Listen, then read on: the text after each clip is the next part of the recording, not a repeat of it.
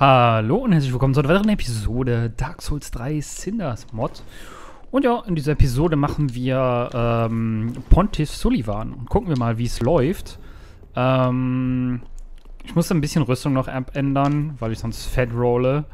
Deswegen äh, habe ich jetzt die krassen Juwelen an meinen Beinen, ja. Das habe ich vergessen. Upsi. Ähm, funny Story. Ihr müsst wissen, ich wohne sehr abgeschotten. Und hier war einfach eben eine fucking Querdenker-Demo. What the fuck? Einfach so, weißt du, keine Sau wohnt hier. Hier ist einfach so eine Querdenker-Demo. What the fuck? So, hä? Was soll das? Das war ulkig. Aber ich habe mir einfach meine Pommes gemacht. Und dann war ich wieder glücklich. So. Das habe ich eben gegessen. Ich habe auch heute mein, meine Wohnung aufgeräumt, ja. Also... Ich war actually produktiv. Ich dachte, ich kann ihn parryen.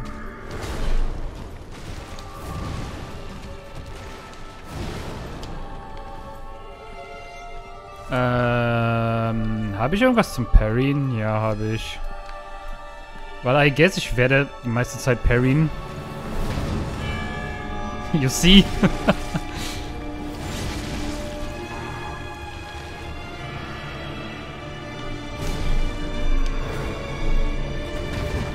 ich fettrolle.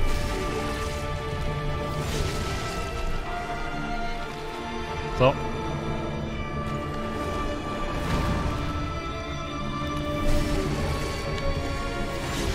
So, gleich gibt es noch eine lustige Story. Und zwar, was ich diese Nacht geträumt habe.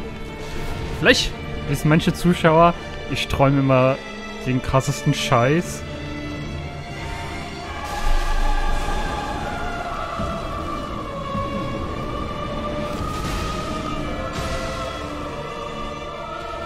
Ja, mach du dein Phantom.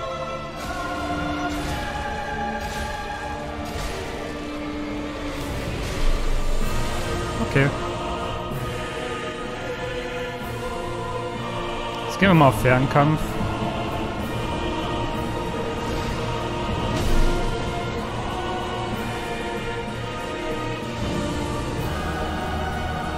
Muss nur aufpassen, dass wenn der halt den Dings macht, genau den.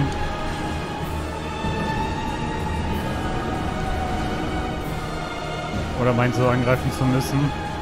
Lol, das killt ihn schon? Ja, moin. Easy. äh, wo ist es? Da.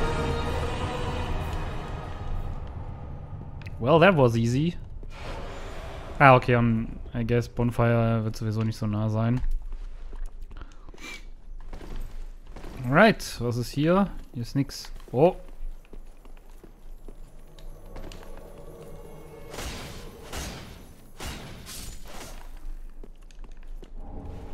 Lizard halt. Oh, hi.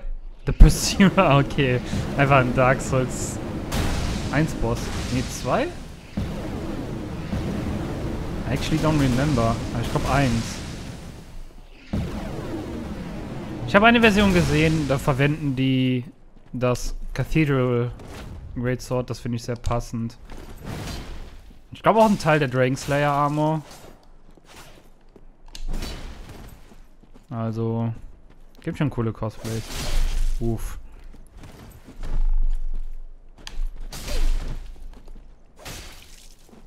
Heilen wir uns? Ich würde schon sagen. Du hast viel mehr HP als ich.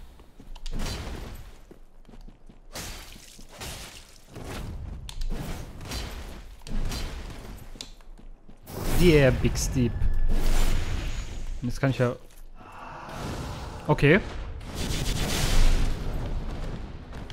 Wollte ich zwar so nicht, aber passt.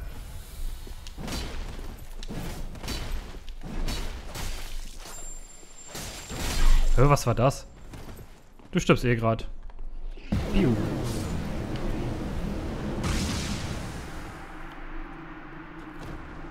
Krieg ich was? Pursuer Gauntlet. Okay. Cool. oh, hi. Ich muss mal dran denken, dass ich auch das Dings habe. Mit den Candle halt angreifen kann.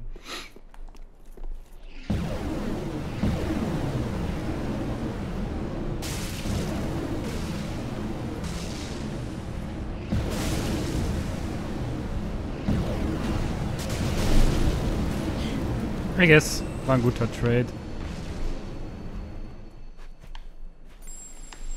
Gehen wir den normalen Weg. So, wie man die normalerweise geht. Also, Traumstory. Irgendwie. Also jetzt ist wieder crazy, Leute, ja? Also, müsst ihr euch vorstellen. Ähm. Wie erkläre ich das am besten? Also irgendwie, ja, wollte meine Familie, also sehr viele Stränge kommen jetzt, ja, nicht wundern. Meine Familie wollte irgendwo hin. So, zu irgendeiner Farm oder so. Und dafür mussten die halt um irgendeine Grenze. Äh, ich level mal. Was level ich? Leben kann ich actually mehr gebrauchen. Äh, so, und dann mussten die halt irgendwie durch so, also über so eine Grenze und halt viele Autobahnen. Und die Grenze war halt auch schon irgendwie voll komisch. Und irgendwie der Weg dahin. Ähm, ich überlege, erzähle ich es jetzt im Zeitstrang, wie ich es geträumt habe? I guess, yes. Also, dann war da halt irgendwie so ein, keine Ahnung, Grenze, wo halt Sachen kontrolliert werden.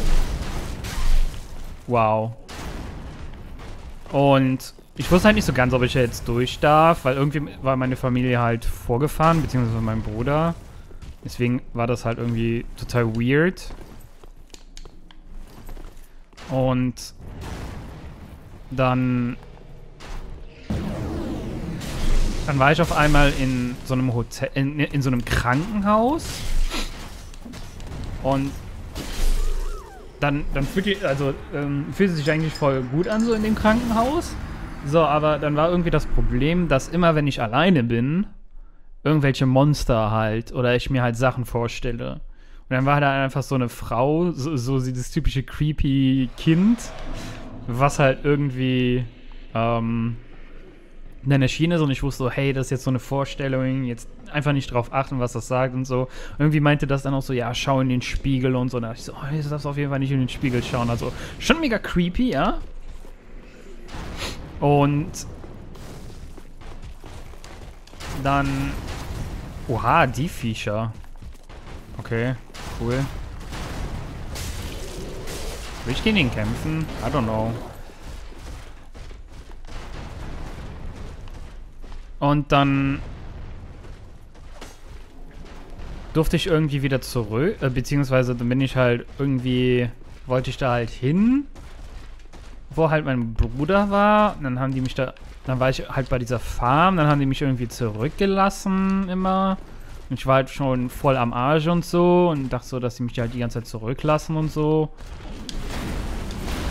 Deswegen war das halt irgendwie, war ich schon irgendwie mad. Und dann sind die halt zurückgefahren, beziehungsweise schon auf der Hinfahrt, ja, habe ich irgendwie so gesehen, wo mein Bruder lang fährt, weil dann sind die halt ohne mich gefahren. Und die Autobahn war halt super lost. Halt, wie man fahren muss. Entsprechend hat sich mein Bruder dann halt auch verfahren, so ein bisschen. Es war halt so komisch. Und irgendwie dann auch, ja, 10 Stunden dauert die Fahrt und so. Obwohl das eigentlich voll kurz war.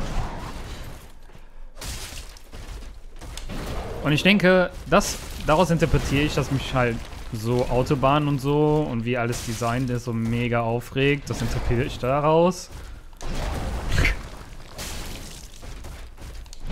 Und dann ging es halt irgendwie um die Rückfahrt. Und jetzt kommt auch was richtig komisches. Und zwar, ähm, auf der Rückfahrt gab es halt irgendwie so, so Stellen, da konntest du halt während der Fahrt Essen einsammeln, you know? So, dann habe ich einfach so einen Schnitzel bekommen mit so Erbsen, glaube ich. So, und ich frage mich so, hä? Warum bekommt man hier so einfach Essen? Warum? Das war halt auch irgendwie voll komisch.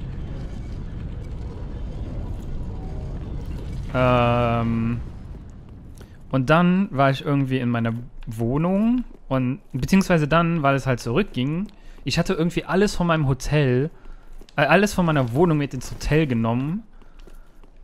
Und dann dachte ich so, oh, das muss ich jetzt alles wieder mitnehmen. Und dann dachte ich, ich habe das alles in eine Tasche so gepackt. Und jetzt hätte ich ja, äh, und das muss ich jetzt alles wieder mitnehmen. Und das passte doch jetzt gar nicht wieder in eine Tasche. Das heißt, muss ich jetzt Sachen zurücklassen und so. Und was nehme ich jetzt mit? Es war keine Ahnung. Also, es war zwar alles so in einem Storyverse, aber alles trotzdem so. Das passte gar nicht von der Reihenfolge her. Deswegen.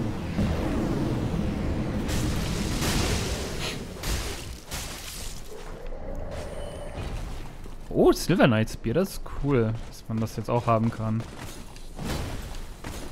Beinahe hätte ich den Klassiker gemacht.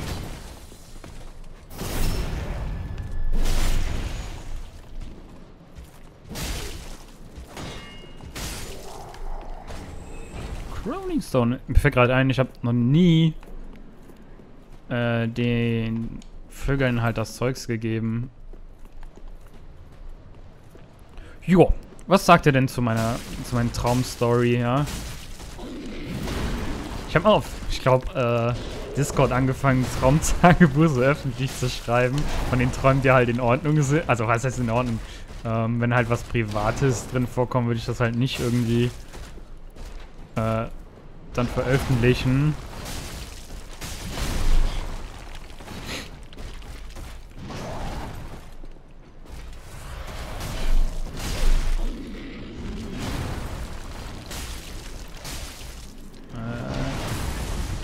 Sogar die Attacke mit reingenommen. Lul. Vielleicht merkt man, ich kann die Dragon Slayer Armor eigentlich ganz gut.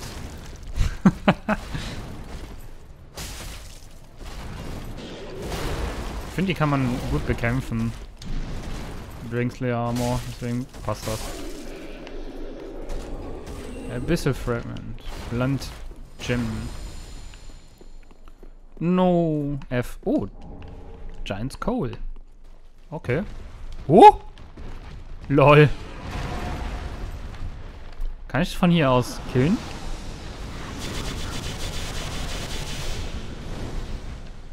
I guess not. Kann ich so machen? Kommt vielleicht einer an? Ja.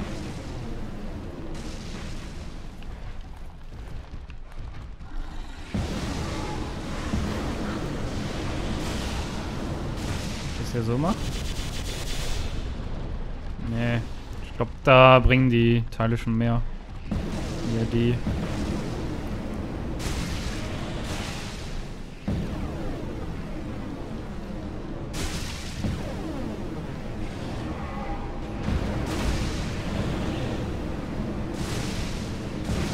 Ist halt viel zu OP, holy shit. Komm ich denn was? Okay, aus Versehen, du. Okay, dann eben nicht. So. Okay.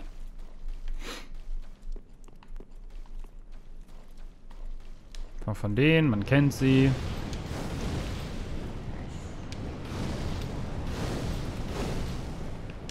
Oha. Ist denn hier auch wieder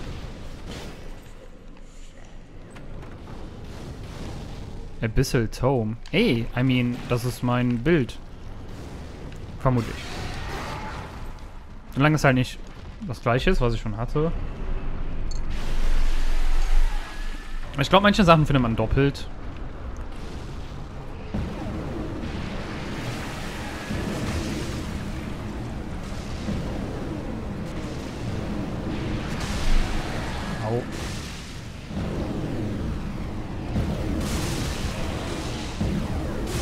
Einfach Abstand halten und spammen, Ghoul.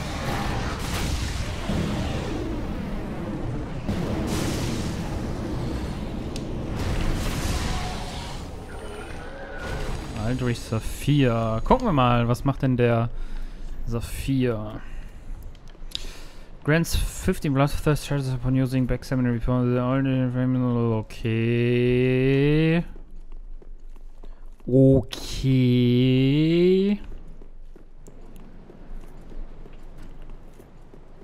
Okay. Warte, ist auf der, ja, auf der anderen Seite ist auch noch einer. Dann machen wir den auch noch kurz fertig.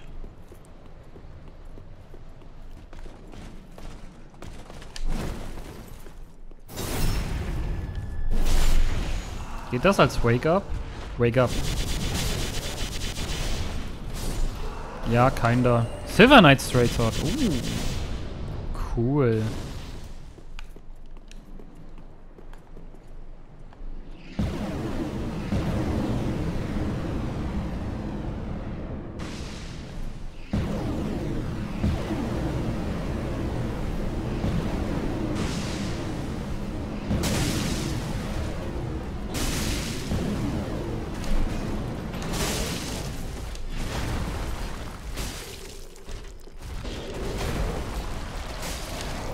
Okay, Spells machen halt überhaupt kein Damage, ne?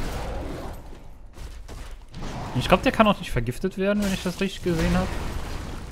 Muss unbedingt mal ein bisschen mehr Stamina leveln.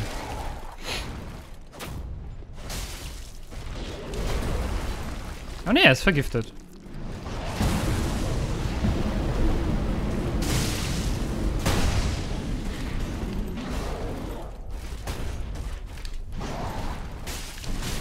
Ups. Bloß nicht runterfallen. Wupp, wupp und wupp.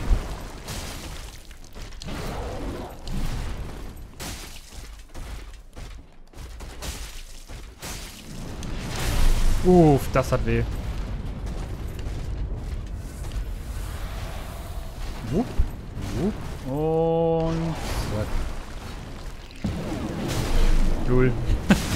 Irgendwie war es voll verzögert, ja. Darauf schiebe ich's. Ich wollte ihn irgendwie cool finishen.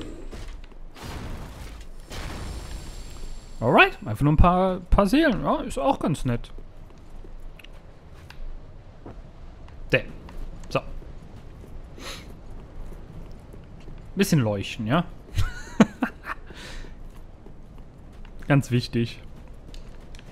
So. Aber ich würde sagen, dann war es das mit der Episode. Ich mache mal ein bisschen Kondition, ja. Wäre, glaube ich, mal ganz gut. Wenn es euch gefallen hat, lasst gerne eine positive Wertung da. Und wir sehen uns in der nächsten Episode. Bis denn. Äh. Ciao.